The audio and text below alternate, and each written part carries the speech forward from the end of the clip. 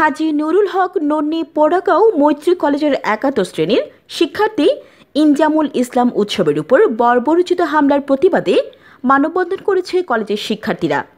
মঙ্গলবার বিকেলে শেরপুরের নালিতাবাটি উপজেলা পরিষদের সামনের মহাসড়কে এই মানববন্ধন অনুষ্ঠিত হয়। আমাদের স্টাফ রিপোর্টার মঞ্জুল ইসলামের তথ্যচিত্রে বিস্তারিত দেখুন ডেস্ক রিপোর্টে।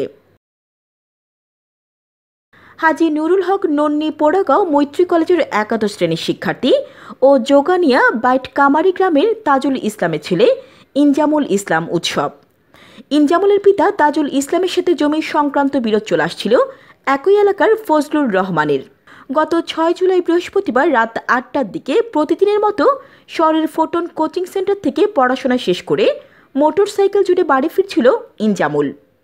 এদিকে জমি সংক্রান্ত বিরোধের জেরে পূর্ব পরিকল্পিতভাবে প্রতিপক্ষ ফজলুর রহমান স্ত্রীর সন্তানসহ সশস্ত্র লোকজন নিয়ে বাড়ির কাছাকাছি অবস্থান করছিল।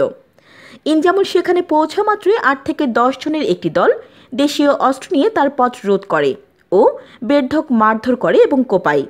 এতে মাথা ও দুই পা সহ শরীরের বিভিন্ন জায়গায় গুরুতর আহত হয় ইনজামুল পরে গুরুতর আহত অবস্থায় ইনজামুলকে উদ্ধার করে প্রথমে নালিতাবাড়ি ও পরে ময়মনসিংহ মেডিকেল কলেজ হাসপাতালে ভর্তি করা হয়। এই ঘটনায় নয় জুলাই ইনজামুলের পিতা বাদী হয়ে নালিতাবাড়ি থানায় মামলা দায়ের করলে এখনও কাউকে গ্রেফতার করা হয়নি।